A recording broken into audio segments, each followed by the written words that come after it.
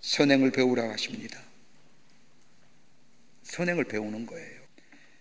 성결케 할 뿐만 아니라 손을 씻을 뿐만 아니라 좀 더 적극적인 모습으로서의 삶을 얘기합니다. 16절 말씀에 너희는 스스로 씻으며 스스로 깨끗하게 하여 내 목전에서 너의 악한 행실을 버리며 행악을 그치라는 겁니다. 그 다음에 17절 말씀을 보면 선행을 배우며 선행을 배우며 악이 체질화되고 상품화되어버린 그 모습 그러면서 악을 행하면서 악인 줄 모르고 사는 삶 전혀 잘못을 느끼지 못할 뿐만 아니라 느낌이 없기에 돌이킴이 없는 모습 이거 이거 내려놓으라는 거예요 그리고 선행을 배우라는 거예요 적극적인 모습으로 여러분 어떻게 우리가 선행을 배울 수 있을까요?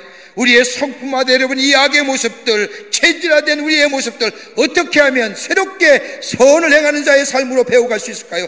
다름이 아니라 회개라는 거예요 회개는 돌이키는 겁니다 여러분 돌이킨다는 것은 신학적 용어로 회개라고 말하는데 회개할 때에 회개한다는 것은 우리의 삶의 방향을 바꾼다는 것이요. 그냥 바꾸는 것이 아니라 바른 방향을 찾는 것이요. 그리고 바른 삶의 모델을 찾는 것을 얘기합니다. 방향을 바꿀 때에 내 문제가 해결됩니다. 내 문제가 발견됩니다. 더 나아가 무엇이 잘못되었는가, 어디로부터 잘못되었는가를 보고 깨닫게 됩니다. 그리고 새로운 미래를 조망할 수 있는 겁니다. 회개는 무조건 나쁜 게 아니에요. 새로운 미래를 향하여 나아가는 기회입니다.